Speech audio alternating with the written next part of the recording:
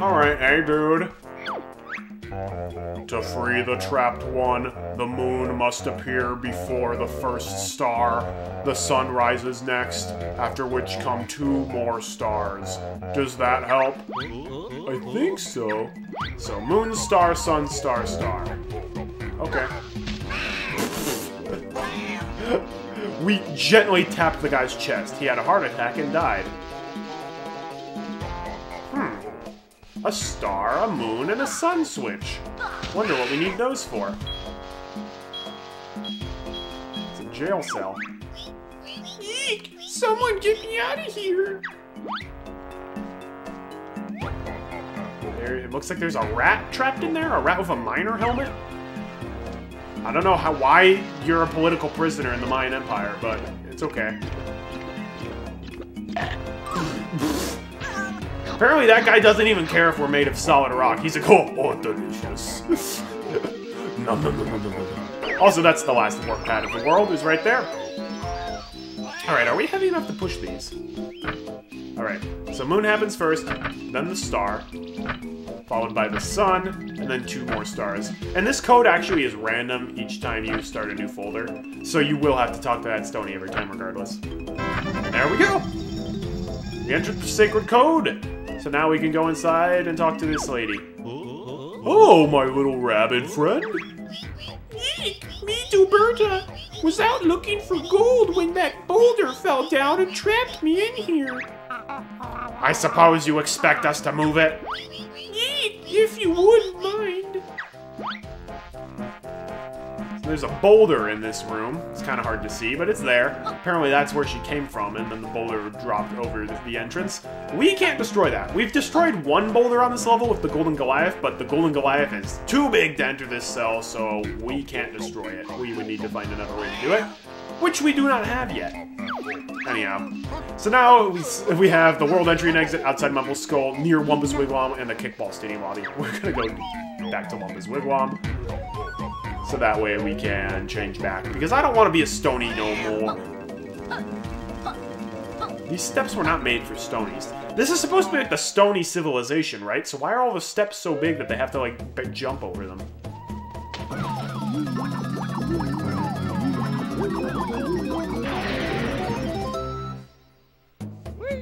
Ah, it's good to be back in my body again. This Wumba magic not need Glowbo next time. Bear change for free. Cool. And spoiler alert, we might need to become a Stony again in the future.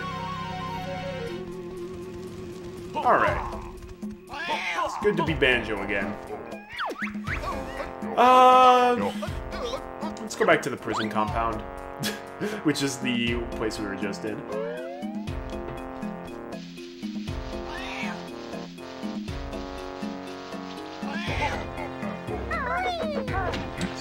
Water here and a tunnel down here.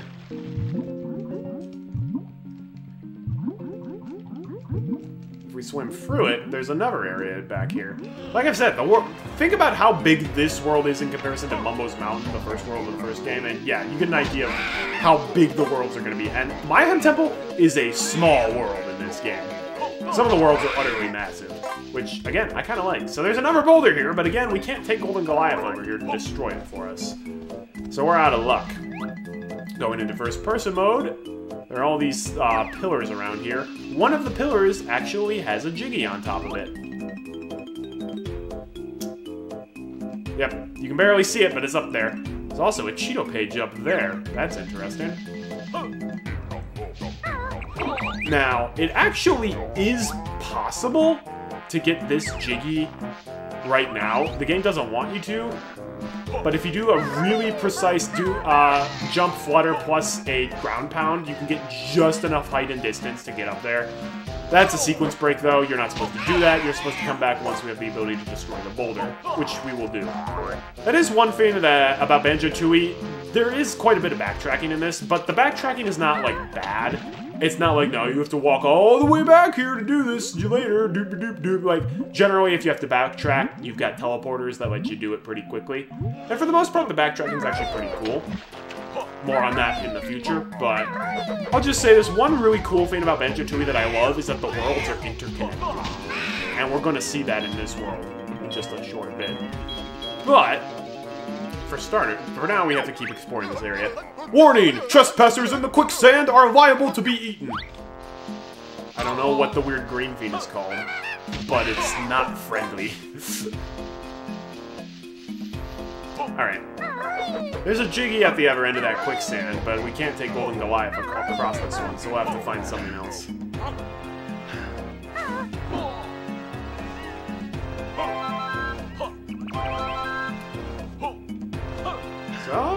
Grab onto this with the grip grab and shimmy jimmy our way across. Watch out for snapdragons. Whenever you're shimmying along this, always just have your finger on the B button, just in case a snapdragon appears, because sometimes their beehives are in a place where it's hard to see them. Thanks, camera.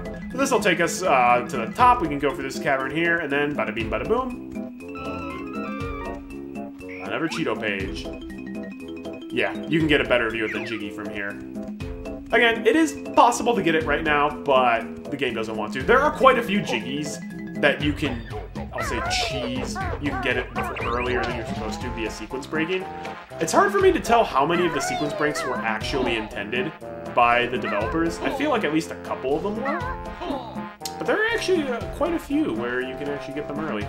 Maybe I'll do like bonus videos showing off like how to sequence break some of the jiggies.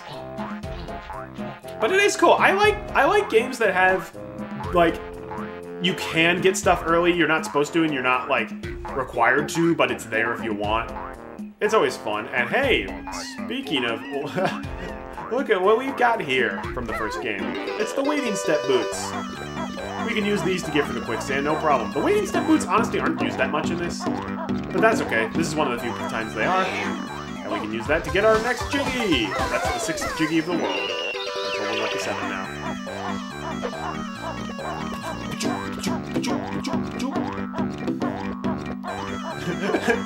I love how the, uh, the the weird green like monster living in the quicksand is like stones, love them, yum.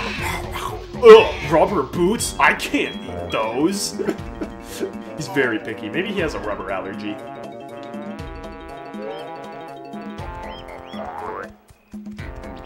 So we're actually we're making really good progress for this world. Not a whole lot left to explore. One thing I am going to explore, though.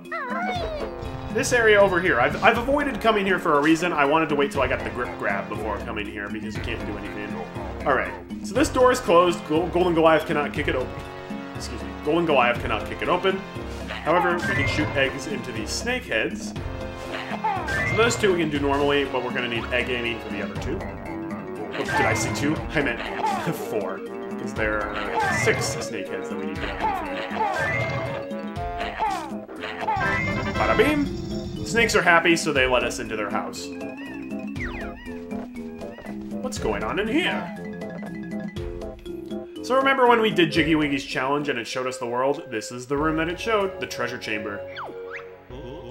What's up with you? It's terrible. I can't find Targitzan's favorite priceless relic thingy. I think it may have been stolen. Tough luck.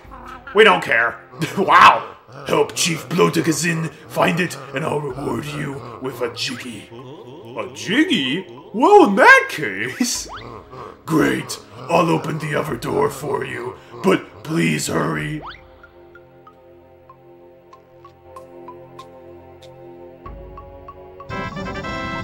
Ooh, Cheato page up there. And a special door opened.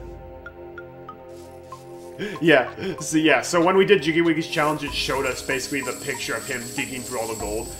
The Jiggy Wiggy challenges will show you a random scene from the world that you go into, which is kind of cool. So we can Talon Trot up here, get ourselves a Hollow Honeycomb piece. That gold pot, wow, so much gold I can't even Talon Trot up it. That's how you know you're rich This is a cool looking area though.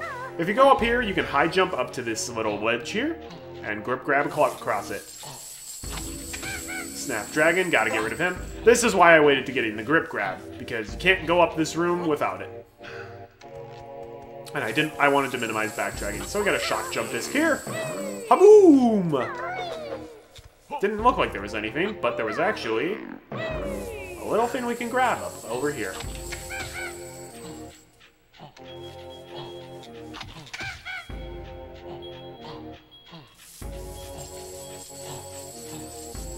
So now we're at the top of the pile of gold that we could not scale. Ooh, this is a pretty room. I love the ceiling.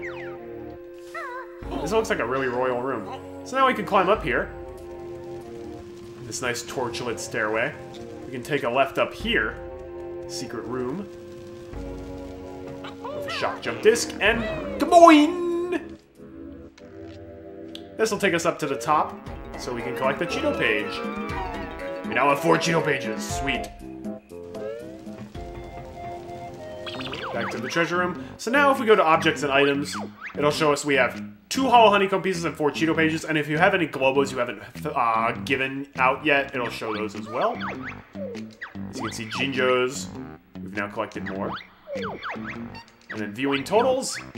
We have 6 out of 10 Jiggies, all 100 notes, 2 out of 3 Hollow Honeycomb pieces, 3 out of 3 Cheato pages, 2 out of 2 Glowbos, 3 out of 5 Jinjos, and then we've only have gotten 2 out of the 3 Jam Jar Silos. So viewing totals is actually very nice to do, especially because, again, you'll be coming back to these worlds generally more than once. But if we go up here, we can push this switch, which will open this gate. And I mentioned earlier that the worlds are interconnected with each other. Well, we're about to see that. This is going to take us to Unga Bunga's Cave. So right now, we are in World 5. World 5 is a prehistoric world. And we are in here linking from World 1. Granted, we can barely explore anything in this world, because most of it's walled off. But it's still really cool how you can, like, explore parts of the world, like, earlier than usual. Caveman's there. Let's let's see how much we can explore. Yeah. So this is this leads to the rest of the world basically, but there's a gate blocking it that we cannot get through. Still, we can explore a little bit of World 5. We can high jump up here. Maybe this will lead somewhere.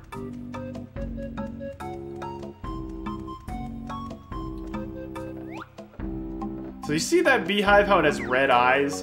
This is basically Banjo-Tooie's answer to the beehives that were surrounded by bees in the first game. This beehive will actively try to kill us. I recommend Rat-a-tat rapping it to insta-kill it, and then you can pick up its honey. So these are the split-up pads that Jamjars mentioned in the uh, one of the first episodes that was underneath like an eggshell. This is what they look like, but we can't use them yet. This is a weird windy corridor that leads to a stone egg. Okay, then. Can't do anything with that yet. Back! He's back! Zutalo! I don't taste good.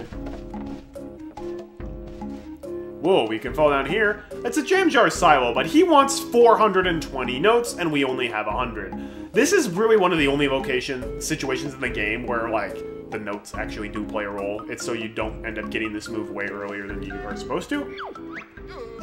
It ain't happening, lady! You need to get rid of Lardy Boy before you can learn this one! Fair enough! Also, we need 420 notes. Ah! A dinosaur! What are you doing here? I told you it's a prehistoric world. The dinosaurs just like, ah. Yeah, we're, we ain't supposed to be here. well, we actually are supposed to be here, but we can only explore this tiny portion of the world.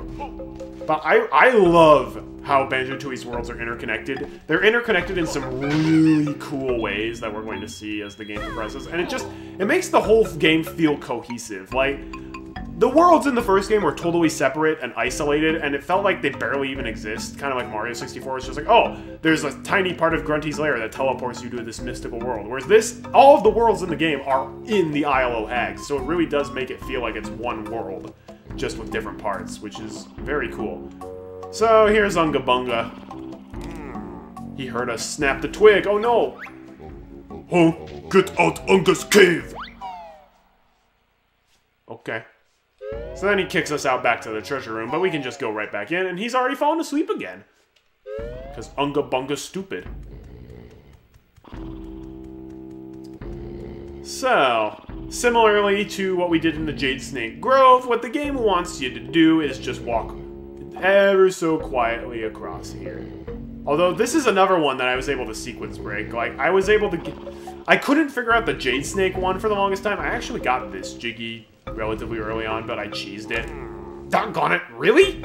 I didn't, I barely even touched the stick. Oh, get out Unga's cave. Man, that is annoying. I was actually, I was able to, as a child to find a way across that without walking slowly. I'll actually, I'll try to show it off, because you guys, you guys know what you have to do. You just walk ever so quietly across. So what I did, so all of these red sticks here, all of the red sticks, these are the ones you can't touch. Well, what you can do, you can do a jump followed by a hover to that platform, go around the fire, and then do a jump hover uh, across to Unga.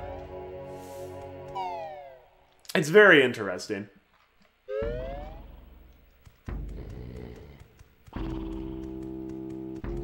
I felt like this, they, we already did this puzzle once before though.